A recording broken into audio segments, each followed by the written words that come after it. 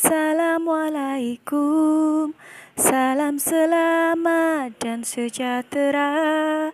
Saling mendoakan di antara kita. Jawablah. Jawablah Waalaikumsalam. Assalamualaikum warahmatullahi wabarakatuh. Selamat pagi, selamat siang, selamat sore, selamat malam anak-anakku yang ada di rumah Gimana kabarnya hari ini? Semoga selalu luar biasa Semoga kalian dalam keadaan sehat ya di rumah Tetap semangat belajar di rumah Kerjakan tugas-tugas kalian ya Agar tidak tertinggal pelajaran.